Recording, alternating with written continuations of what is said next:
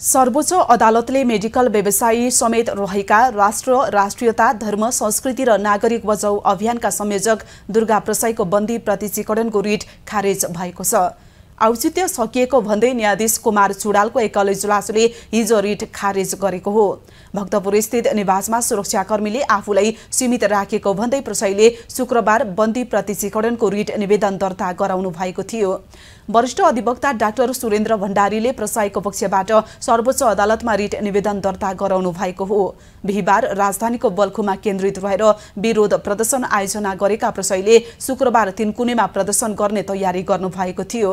तर स्थानीय प्रशासनले शुक्रबार तिनकुने क्षेत्रमा प्रदर्शनको अनुमति नदिएको प्रश्न पारेसँगै सो क्षेत्रमा ठूलो संख्यामा सुरक्षाकर्मी परिचालन गरी उहाँका केही समर्थकलाई नियन्त्रणमा लिएको थियो भने केहीलाई सम्झाइ बुझाइ पठाइएको प्रहरीले जनाएको छ।